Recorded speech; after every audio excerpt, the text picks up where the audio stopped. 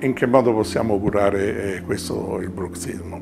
Allora, o ricostruendo le cuffie nel modo corretto e riportando il lavorio dei muscoli ad un equilibrio dinamico tra loro diverso, ma anche ricostruendo la volontà di questa persona di un equilibrio diverso dentro di sé, un'accettazione anche per certe forme del mondo esterno ma anche cambiando la postura che nel frattempo si sarà alterata. Quindi è un lavoro di combin tra varie specializzazioni e tra vari eh, percorsi che fanno cambiare il modo che ha quella persona di affrontare la realtà.